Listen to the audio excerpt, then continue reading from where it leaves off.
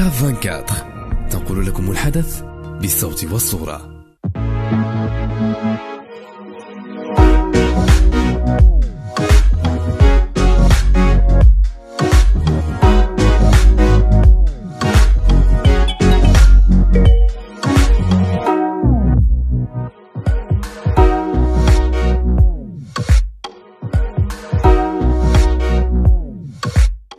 السلام عليكم متابعي كا 24 انتصار العسكري أخصائية نفسانية كنشتغل في المدارس.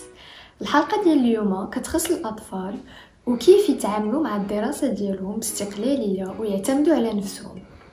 بحال اللي كنت تكلمت عليها في الحلقات السابقة كنت هضرت على استعمال الزمان اللي هو واحد الحاجة كتخليهم يكونوا منظمين أكثر. حاجة أخرى وهو إطار العمل فكيبقى أيضا شيء أساسي. من الاحسن يكون فيه سكات وتا حاجة ما كديروها أمام وليداتكم في هذيك الوقيتة اللي هما كيشتغلوا فيها. نقطة ثانية نحاول نشوفوا فيها بعض الجوانب.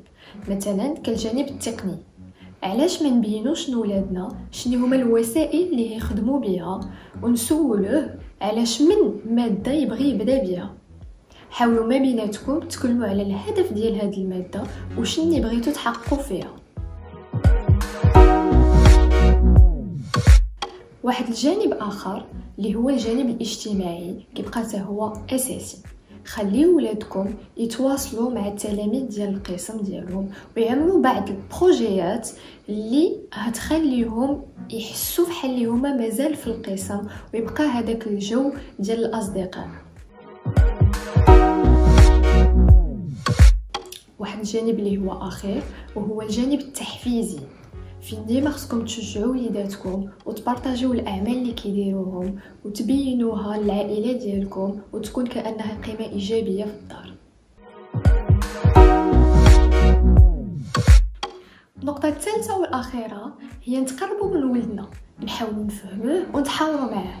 كاين بعض الأطفال اللي عندهم سهولة أكثر في التكلم الشفوي وكيعجبهم يشرحوا داكشي اللي فهموه قبل ما يكتبوه. بعض الأطفال كيحتاجوا بالتي هي أحسن نتعاونوا معاهم نعطيهم الوقت في التفكير نشجعوهم إلى آخره. بينما كاين اللي خصهم شوية ديال الصرامة وبعض الحدود تكون ثابتة وواضحة. طبعا كل طفل كيختلف على آخر. اذا أحسن طريقة كتبقى هي نخلقوا التحاور ونسولوه شنو هي الطريقة ديال العمل اللي هو كيرتاح فيها.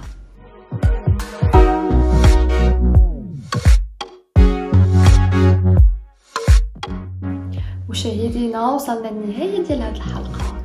وشكرا على التتبع ديالكم. مواقع التواصل الاجتماعي وما تنساوش الاشتراك في قناتنا على يوتيوب وتفعيل الجرس باش يوصلكم كل جديد.